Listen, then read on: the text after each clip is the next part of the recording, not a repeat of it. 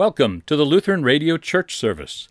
This broadcast is brought to you on this station every Sunday at this time. Thank you for listening. Good morning, and welcome to the Lutheran Radio Church service. The music for today will be provided by the Lutheran Radio Choir, directed by Hilbert Wiedenkeller. Our guest speaker today is the Reverend Dennis Hipenbecker, the vacancy pastor at Christ the Life Lutheran Church in Waukesha. Your liturgist is Pastor Jeffrey Miller of Berea Lutheran Church in Milwaukee. Many of our Lutheran churches recognize this Sunday as Life Sunday. All human life is valuable to God, so valuable that He sacrificed His priceless Son to redeem them. Stay tuned as Pastor Hipenbecker will focus on the theme God, my Creator, Redeemer, and Sanctifier. Lord Jesus Christ,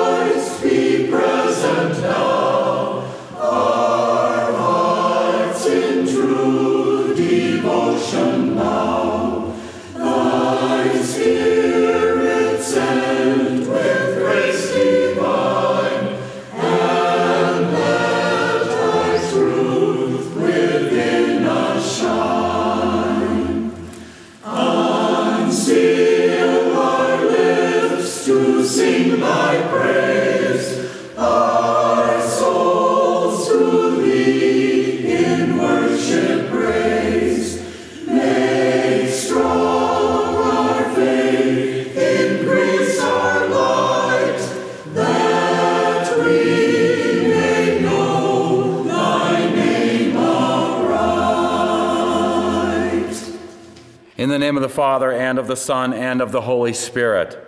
Amen. Our Lutheran Radio Choir will sing the hymn, When All Thy Mercies, O my God. mercies, O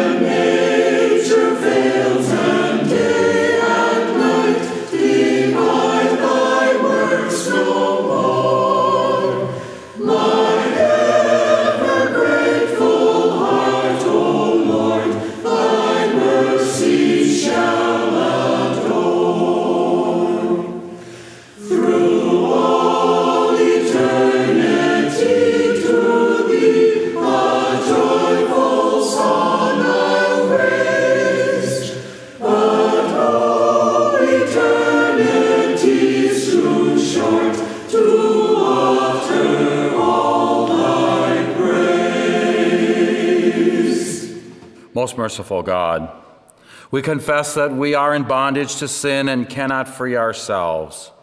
We have sinned against you in thought, word, and deed, by what we have done and by what we have left undone. We have not loved you with our whole heart. We have not loved our neighbors as ourselves. For the sake of your Son, Jesus Christ, have mercy on us. Forgive us, renew us, and lead us so that we may delight in your will and walk in your ways to the glory of your holy name. Amen.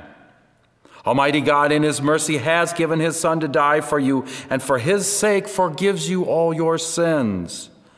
To those who believe in Jesus Christ, he gives the power to become children of God and bestows on them his Holy Spirit. Glory be to God on high. Glory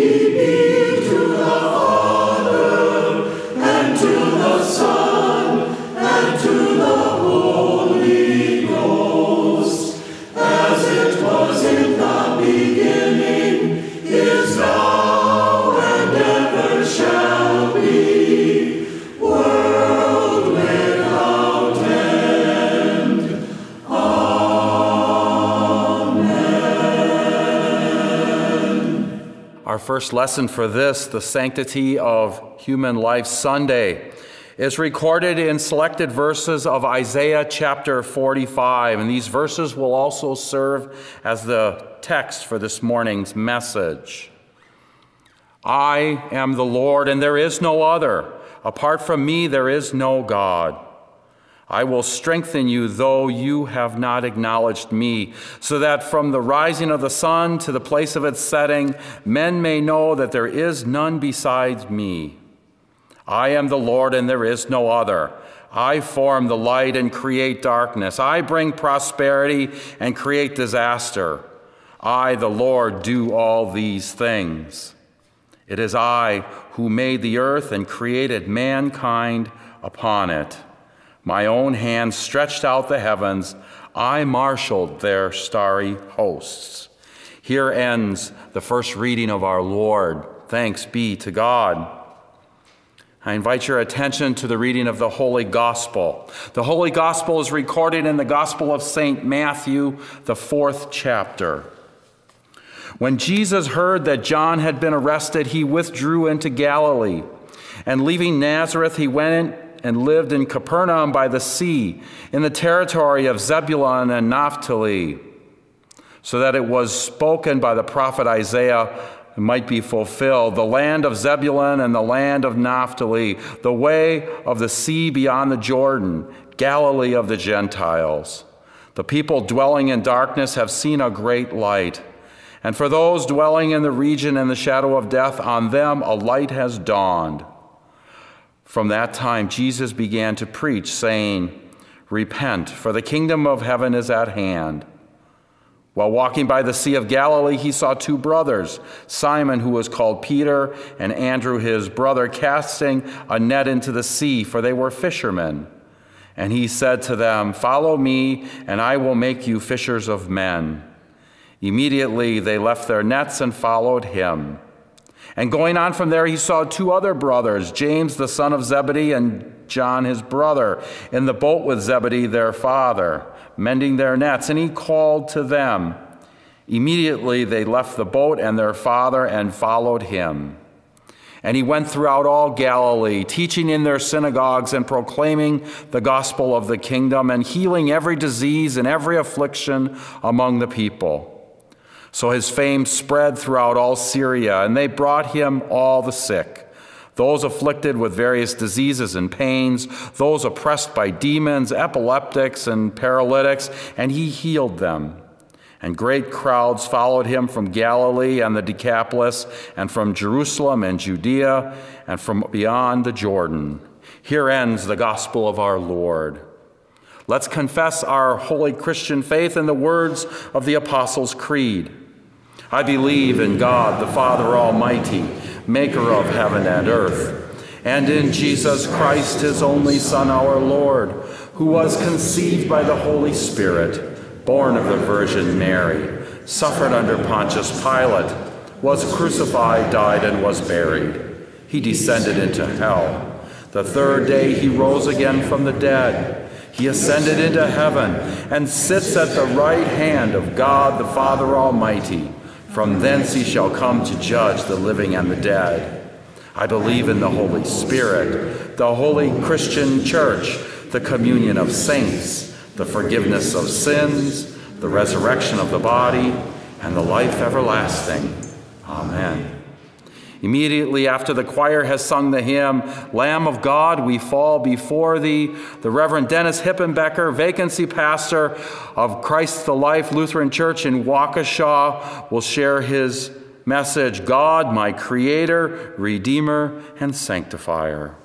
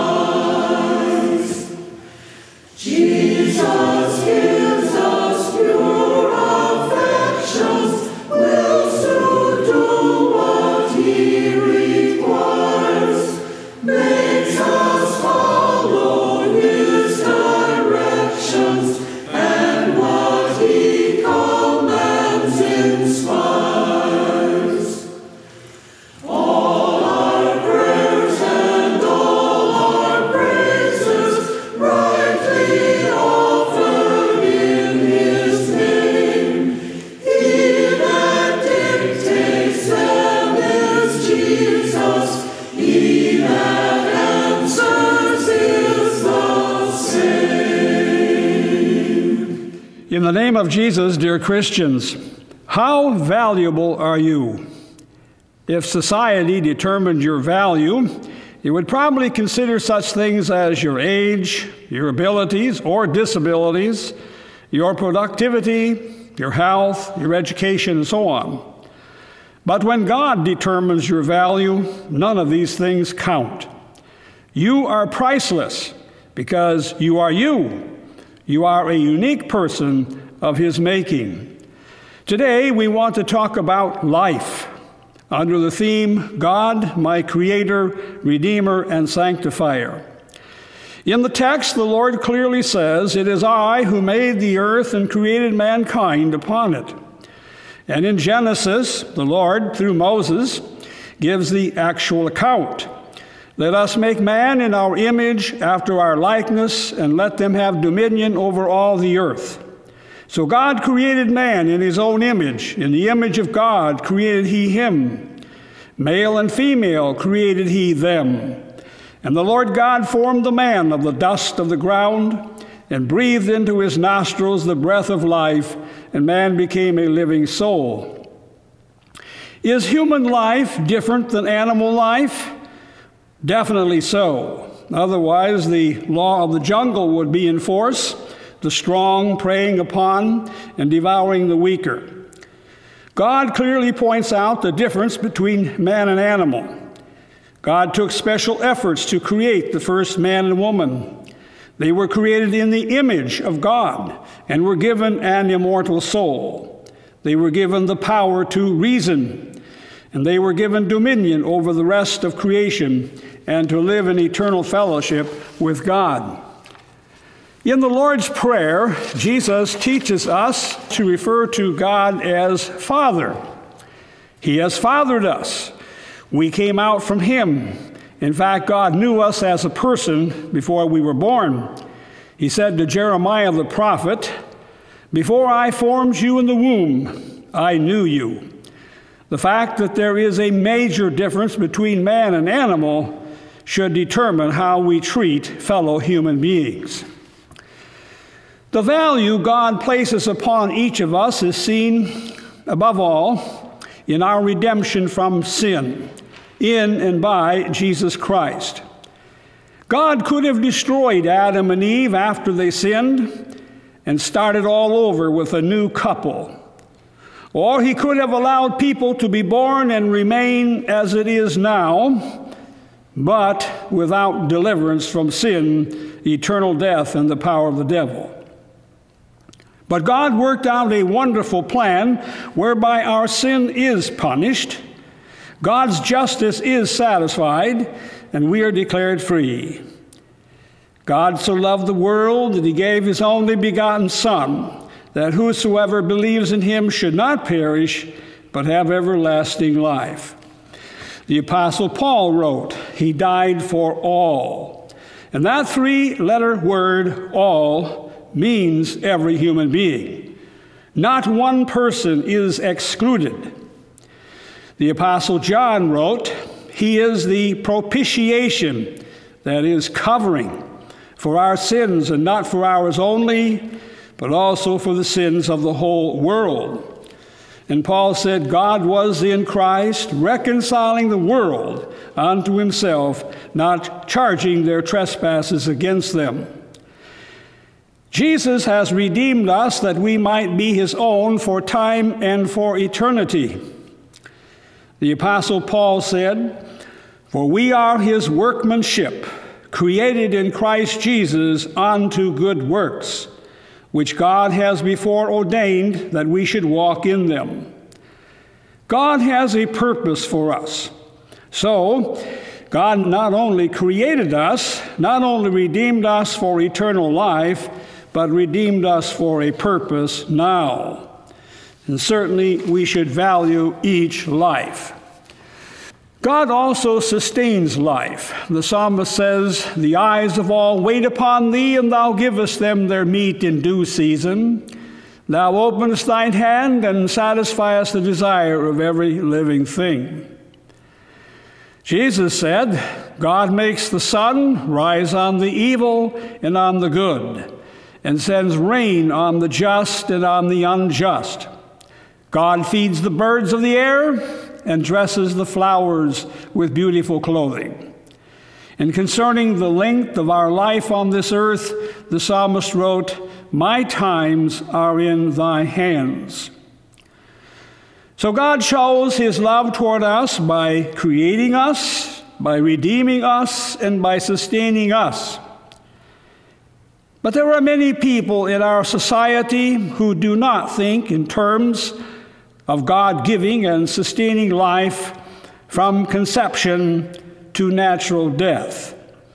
Consequently, such language as product of conception, fetal tissue, potential person, lacking sufficient quality of life, vegetative state, and so on, are used to really depersonalize people.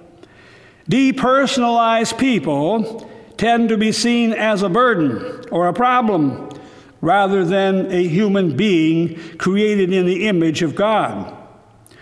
And what do we tend to do with a burden or problem? We try to get rid of it.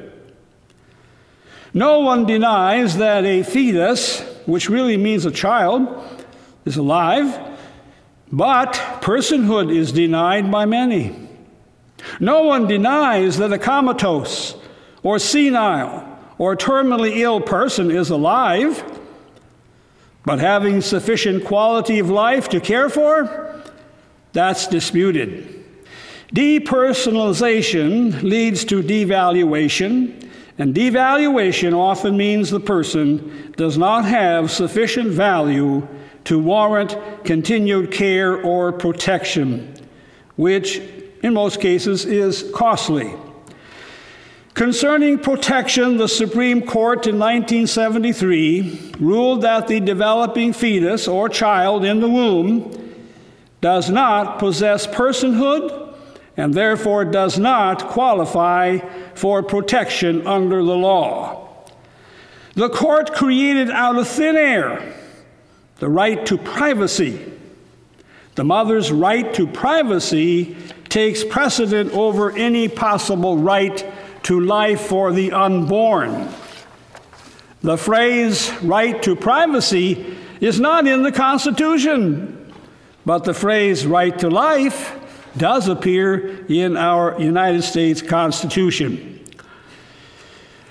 As far as the comatose, senile, or terminally ill are concerned, we are seeing a shift in thinking, much of it due to economics.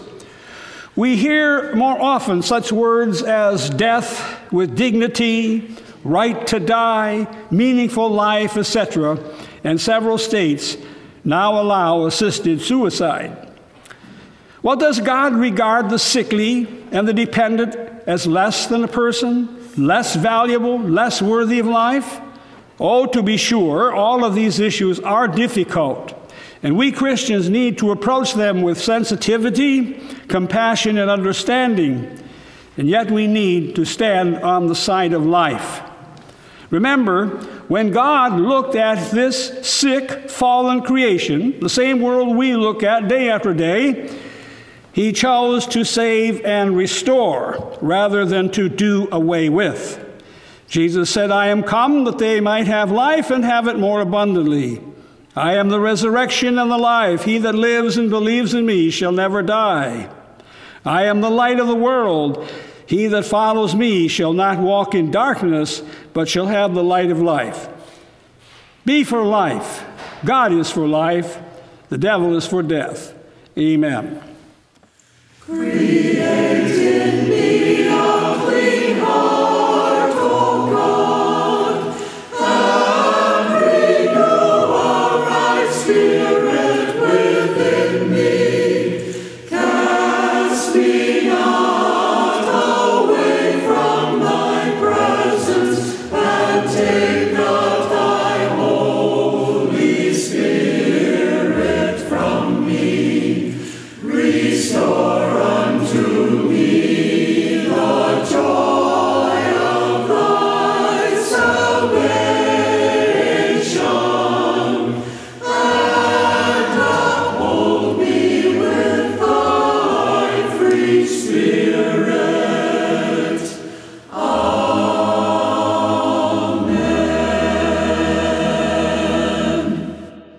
us pray. Heavenly Father, you are the creator, the redeemer, and the sanctifier of all human life. Lead us, your church, always to choose life. Guide and direct all organizations that provide care and counseling to those who are tormented by their decisions to choose life to focus on what you have done for them in Christ Jesus. Let us rejoice with all those who choose life, that together true joy in Christ may be magnified, and may we always be the voice of forgiveness for those who grieve over their decisions. It's into your hands, O Lord, we pray, trusting in your mercy through your Son, Jesus Christ our Lord, who also taught us to pray, Our Father, who art in heaven, hallowed be thy name. Thy kingdom come, thy will be done on earth as it is in heaven.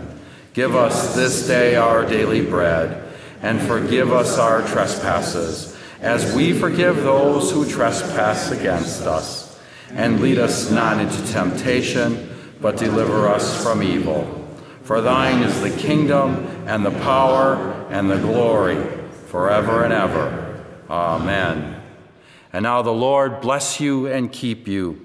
The Lord make his face to shine on you and be gracious to you. The Lord lift up his countenance upon you and give you his peace. Amen.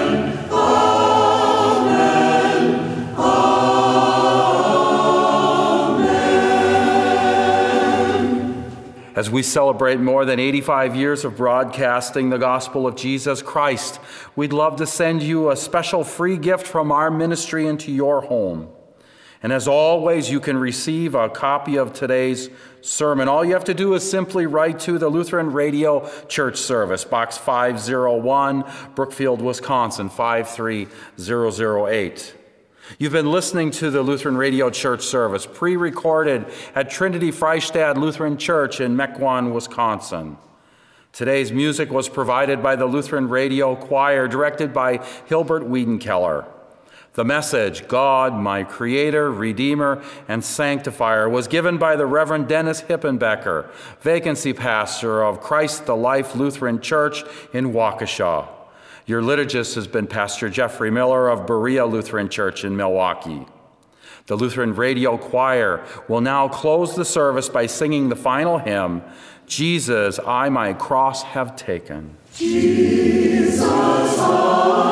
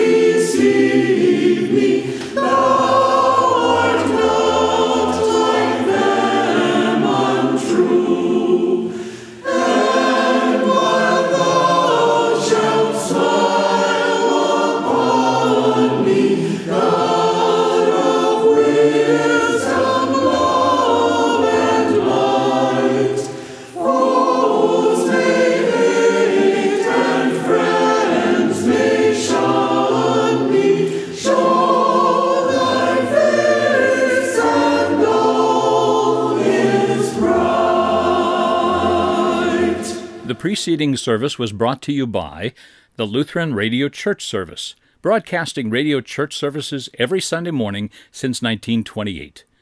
Please visit our website at www.lutheranrcs.com to hear this service again.